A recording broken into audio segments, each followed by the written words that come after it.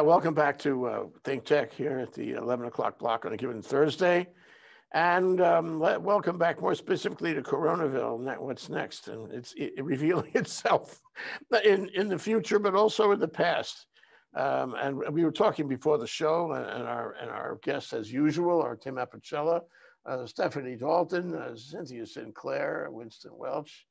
Um, before the show, we were talking about, you know, what happens uh, if we if we have a designated viewer among us who goes and watches goes and watches uh, Fox News every week and comes back and reports to us. And and um, you know, Cynthia pointed out that after 10 minutes you can't do it anymore because that you get the lies within the 10 minutes and the, the absurd statements.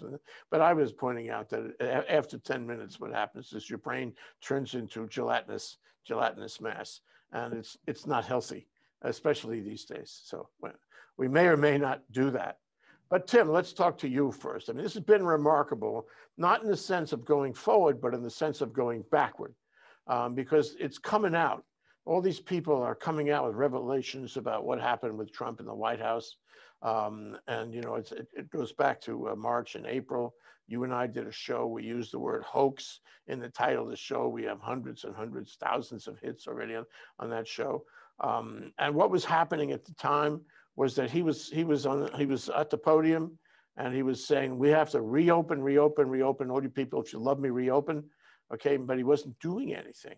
And now we have different different views of what was going on in the white house and it's all coming out.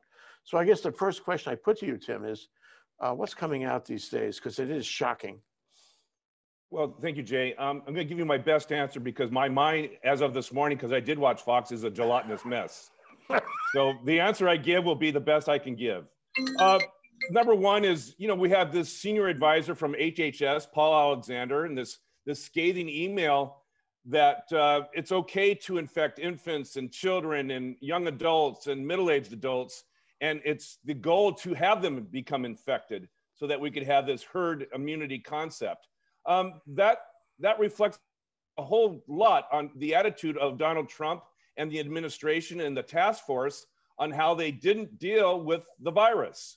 And that is, let's do nothing, but let's pretend and make it look like we're doing something. And uh, here we are 307,000 deaths due to COVID. And again, by the administration's inaction, we have 307,000 deaths. And I think this email is very telling. And I think we're going to see a lot more uh, emails in the, in the coming months.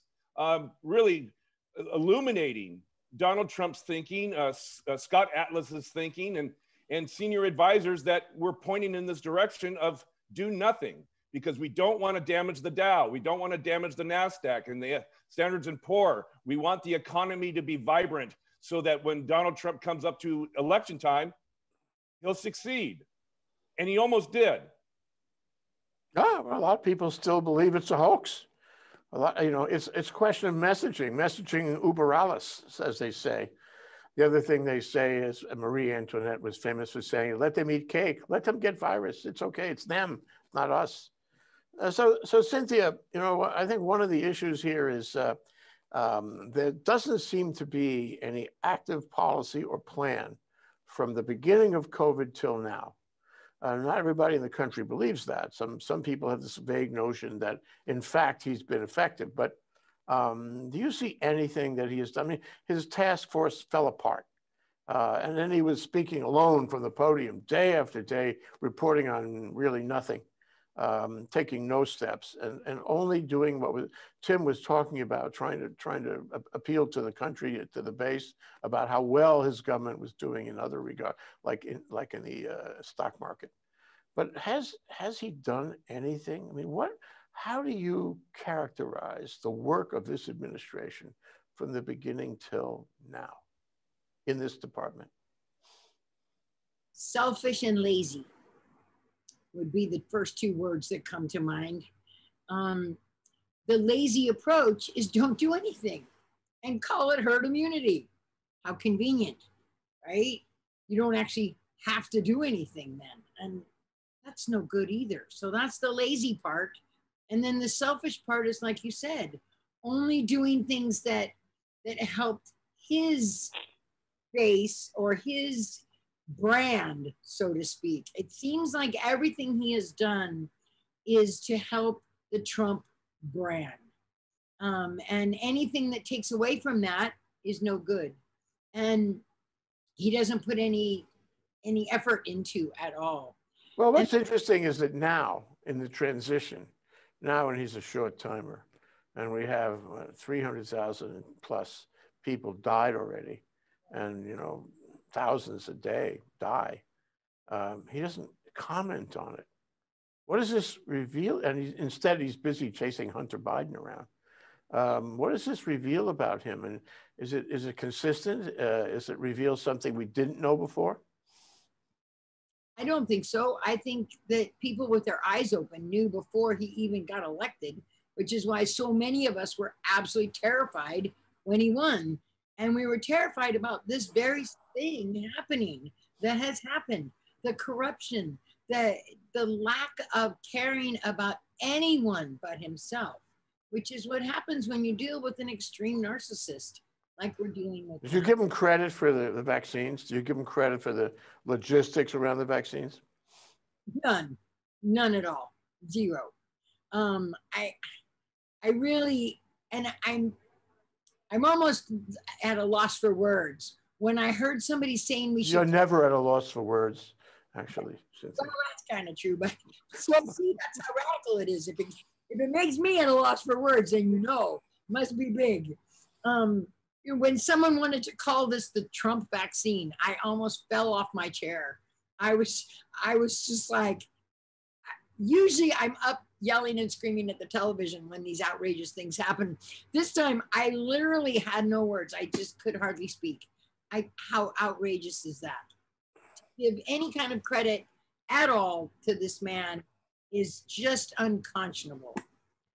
So, so you know, we've covered it, uh, and uh, uh you know, the liberal media has covered it, the Times and uh, MSNBC and CNN, Stephanie, um, and and and it, it's really a terrible story um, and uh, there's no other way to characterize it. And yet, uh, and it's the biggest story, clearly the biggest story in the country, the biggest story, top headline every single day. How many people are dying? I mean, it's awful. Is it affecting? Is it affecting the base? And if it is not affecting the base, what process is going on among the base that they could ignore it? Well, I thought that my um, my big uh, response um, of depression and uh, more disappointment um, and disbelief was when I found out that actually Trump did have the COVID, but he had one of the treatments, of which there are like two and a half, now having been given to him and Giuliani and to uh, the New Jersey governor. And that those are those that I don't, the, the, the, name of the drug cocktail begins with an R. And she, Regeneron. Okay, very few of those are available and they're $100,000.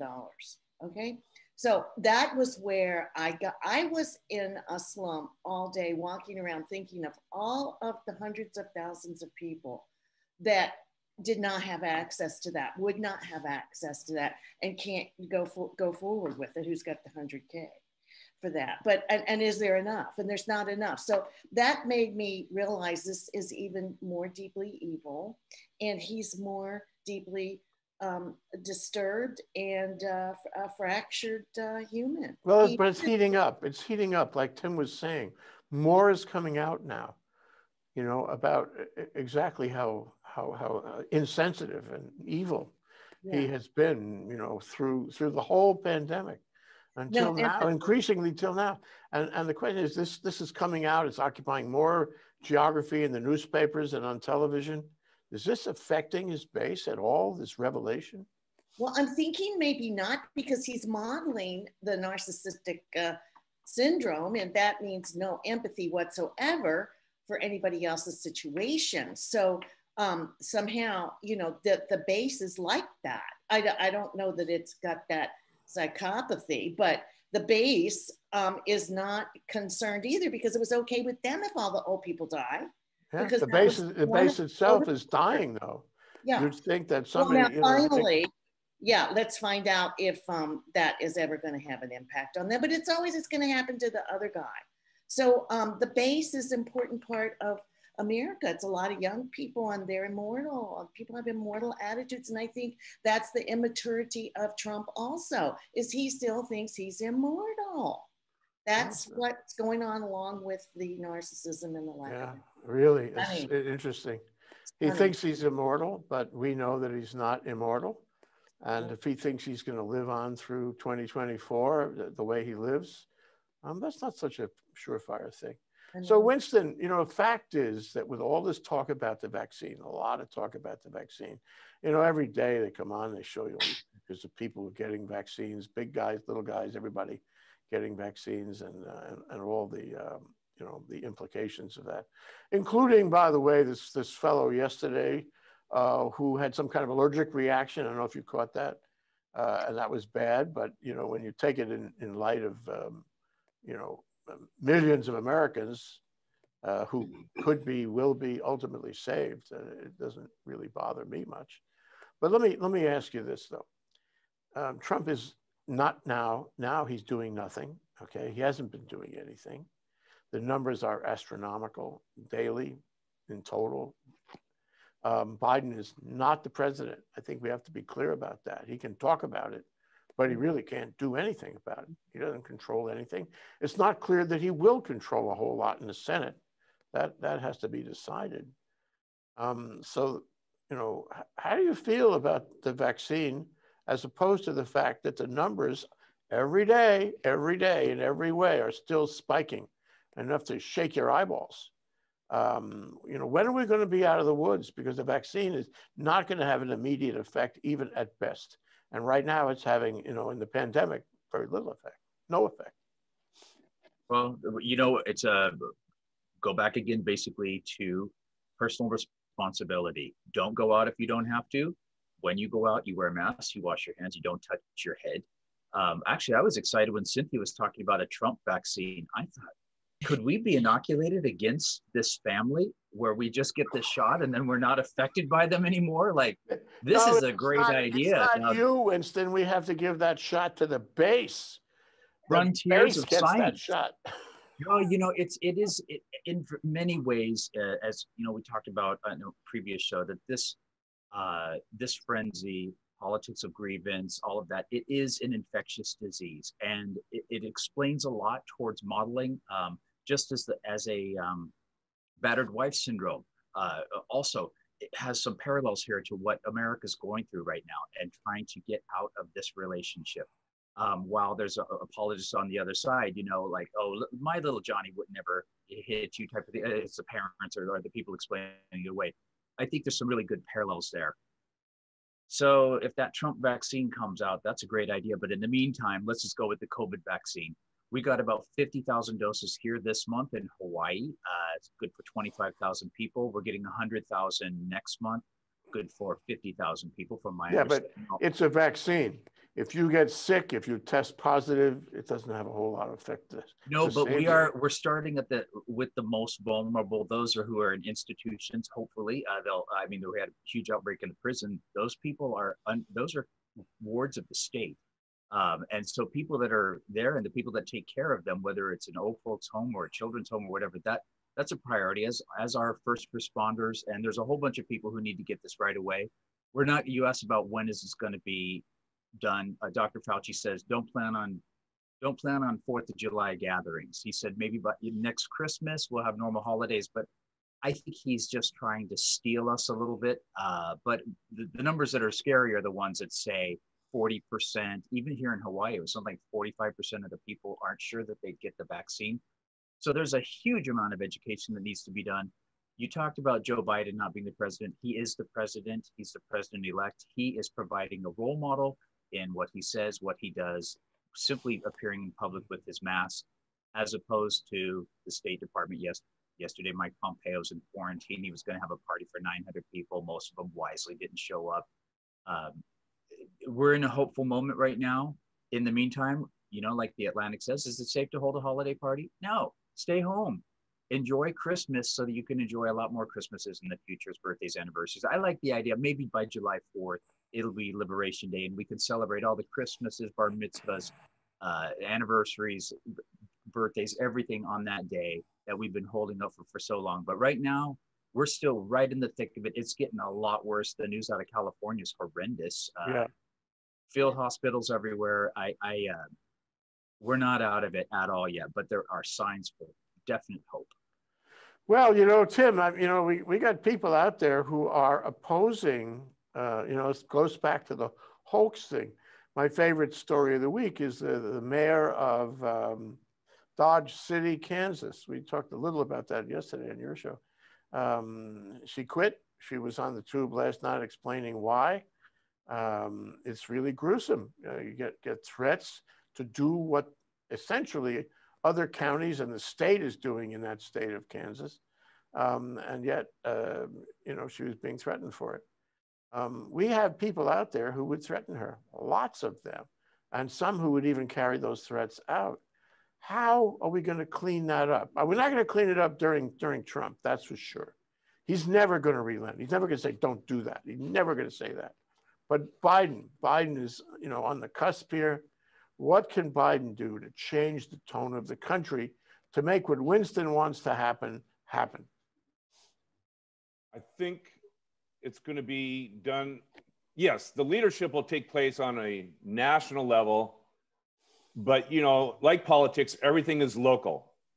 And so it's going to have to be the law enforcement agencies of each state and each city and each, you know, township that's going to have to enforce, you know, to make sure violence doesn't happen openly in the streets of America. And I, I'm hoping that it won't come to that. You know, we saw this incident in Washington D.C. where there was uh, shootings and several stabbings. I'm hoping that's an isolated isolated incident, and I'm hoping that the passion and the and the and the temperature uh, from this lost election for Donald Trump starts to come down. That over time they realize, okay, he is not going to be our second term president, and they move on to other grievances. Um, you mentioned the anti-vaxxers. I think those who are, um, you know, deny that Trump lost the election. These are perfect candidates for those who are going to deny the vaccine and not participate. And you know, if you think about it, if you never agreed that uh, COVID was a real disease in the first place, why on earth would you take the vaccine? So I think by Donald Trump's and the administration's uh, broadcast on how this was just nothing but a Democratic hoax or a bad flu, that stuck and that hasn't left their mentality and their attitudes. And therefore, when it comes to the time to take the vaccine, they're going to they're going to say no, we're not going to do it. It's it's the deep state that wants me to take this vaccine, and I'm not going to do it. Well, this is also a trust question, and, and it's an interesting point raised yesterday in one of my TV shows. It was not Fox News, um, where you know Trump has said, you know, warp speed. Of course, he does nothing, but he uses the term as part of his messaging, warp speed.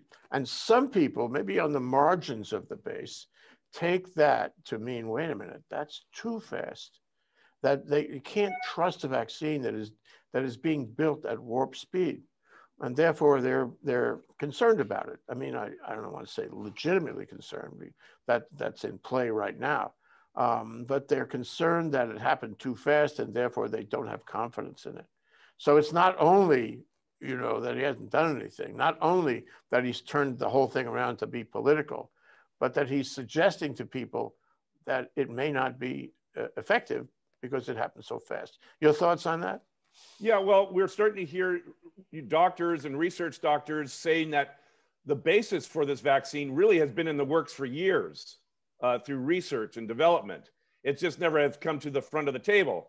Um, we're now hearing those stories, and I think is to address your very point that uh, it was developed rather quickly. And um, I think that's part of the strategy, the messaging strategy that uh, we've, we've known about how to, uh, you know, attack that one protein that has the spikes on it and introduce this um, non-benign, if you will, uh, uh, a solution to, to uh, arresting COVID. And I think that's what they're going to push harder and harder and more often about why the vaccine is actually safer than what one might think. Yeah, and that's what Biden should do.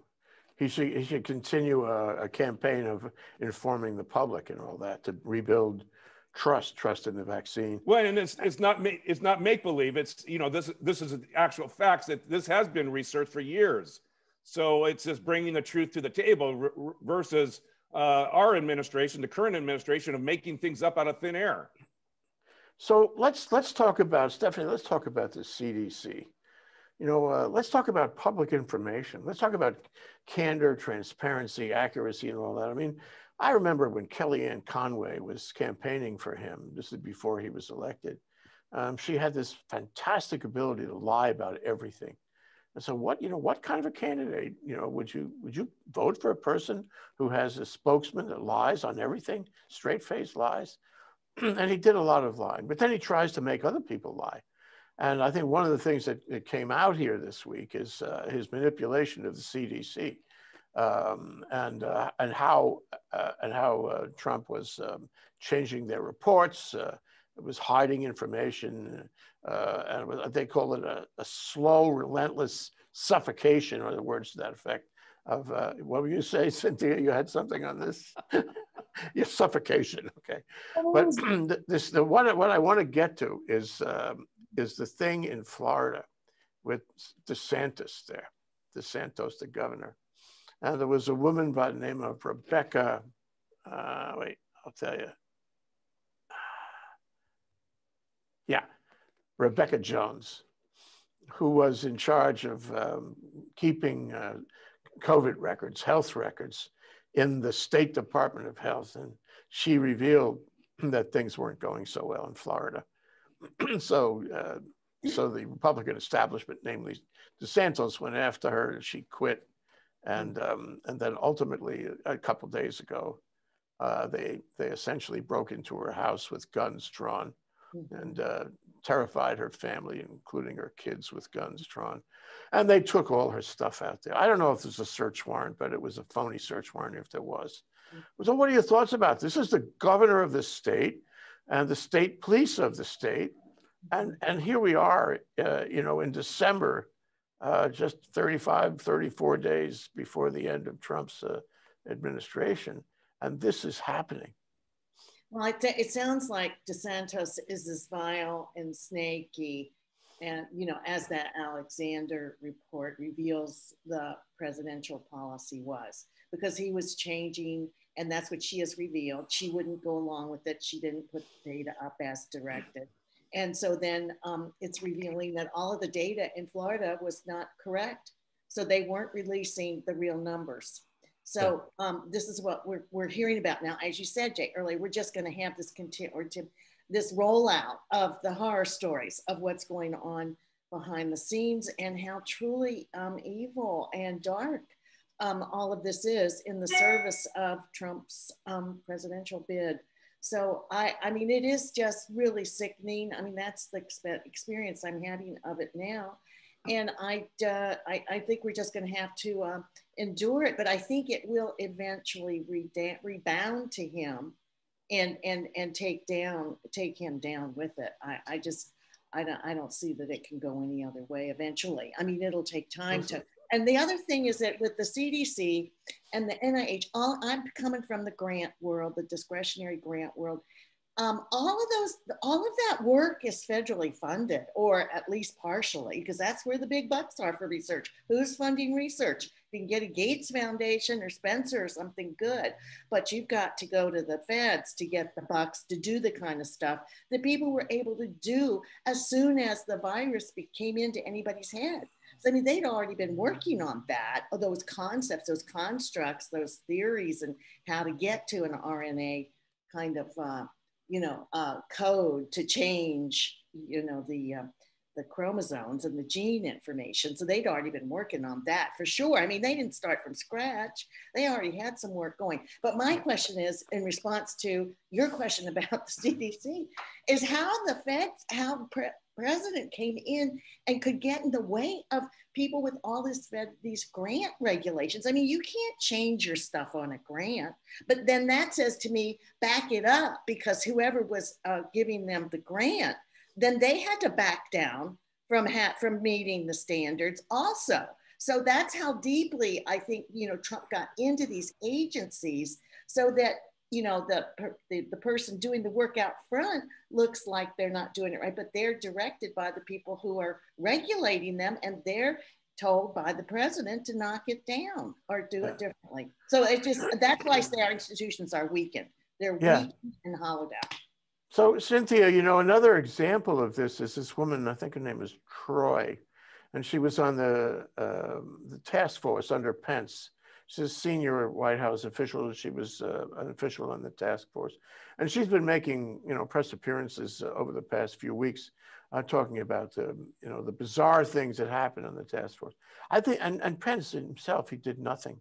Um, and the task force had all these weird Atlas-like people in it. Um, and, and I think this is going to happen more and more. It's going to quicken in the next few weeks, maybe with due regard for the election in, uh, in Georgia, but also as Trump loses power, or apparently uh, has to give up power at the time of the inauguration. Um, don't you think there'll be more coming out of the woodwork? Don't you think that we're going to find out just exactly what was happening because people will not be intimidated by a president who no, no longer has the power to intimidate the bureaucracy. What do you think? I absolutely think that's going to happen. I think it's not going to just dribble out. I think it's going to come in a big flood. And once one person starts, another person will be empowered and emboldened to do the same. And so I think over these few months, we're just going to see more and more and more. And we're going to find out more and more about actual data that's been changed and manipulated to look like something different. And it's like, it seems like now we're starting to get a little bit more of the correct information. We had 3,298 people die yesterday. That's like a person every minute or so, isn't it? I mean, it's just insanity. Now, as soon as the numbers started going up in Florida, that's when all the the manipulation of their numbers started. And even with this is the thing that gets me, even with all of the, you know, uh, the manipulation that they did, they still Florida is one of the highest um, states for the most, you know, highest numbers of infection and deaths. Also, they're way up there at the top. So you can imagine how bad it really is.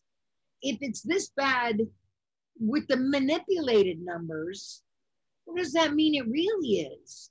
Yes, well, yes, and he's he's had so many places on the information pipeline, uh, you know, to do that where he's actually done. I I'm only hoping that this will come out more and more now, before the election in Georgia, and and hopefully the people in Georgia will see. Although the news in Georgia is pretty good.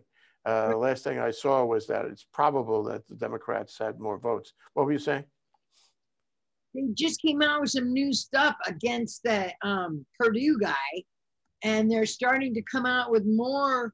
And hopefully, they're doing. They're just flooding the airwaves down in in Georgia about what Kelly Loeffler did in in regards to the insider trading. Both of them, Perdue did the same thing. So, and then they also have just released some stuff about Kelly Loeffler and how she downgraded her home from it's like she bought it for 10 million and then all of a sudden it's still you know the same the same the same. Then all of a sudden it drops 6000 i mean 6 million dollars so that her taxes were about $200000 less you know. And then it dropped again and again and again and there's absolutely no reason for it to have dropped there was no you know No, she she and her husband are ostensibly worth eight hundred million dollars. It's not it's not like they're common folk. Uh, let me let me shift to you, Winston. You know, one of the things that is that has happened here that is totally remarkable um, is the fact that we have not had a COVID relief bill. Um, gee, since what April? Um, and in May, the uh, Democrats came up with a what two point something trillion dollar bill to follow the first bill, and that has languished all this time. Let me count the months: May, June, July, August, September, October, November, December.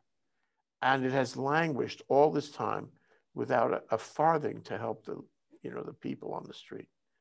Um, there are those who say that this has caused live, caused us lives, Mhm. and that some, at least some, of the people who have died, the enormous number of people who have died, have died for the lack of help from the federal government. What are your thoughts about that? And what are your thoughts about what's really happening in these negotiations? Why do we have this painful, cruel uh, delay? Well, Mitch McConnell's still in charge of the Senate, and uh, that's number one uh, in, in, my books. Donald Trump, I thought he he was fine to pass this bill. It's going to be interesting because he said he's going to veto the defense spending bill, forcing the Republicans to override his veto, which they probably will. Um, I wonder if they'll wait until after the sixth of January to do so, but uh, they need the money right now, as far as I know. But that was, you know, had some Confederate um, renaming of, of things. Look, it's it's a very confusing um, horse trading that goes on in there. And Nancy Pelosi, uh, it, I think she's trying the hardest she can, and she's got. But this thing is a disaster. There's no two ways about it. Does it matter to America if we borrowed 20 mil, 20 trillion, or 21 trillion, or 22 trillion?